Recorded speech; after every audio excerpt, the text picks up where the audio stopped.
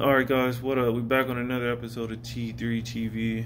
Uh, you probably saw last night. Did some races. Got to meet up with a little few people at a car meet. Uh, did a pull with a Mustang GT. Also raced my homies Vince and Mike in their Camaro SSS. Just trying out the new setup.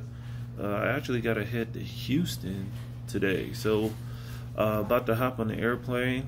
Uh, just show you what's in my bag because I never traveled with my camera gear before and we're gonna see how it goes. So here we got the GoPro. We got the shoulder strap mount for my camera. We got the 70 to 200 the 50 prime the 24 to 70 the flash battery charger.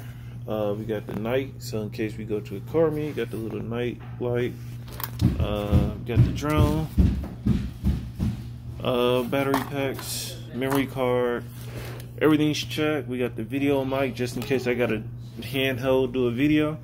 So uh, should be fun. Stay tuned and I'll let you guys know what's going on.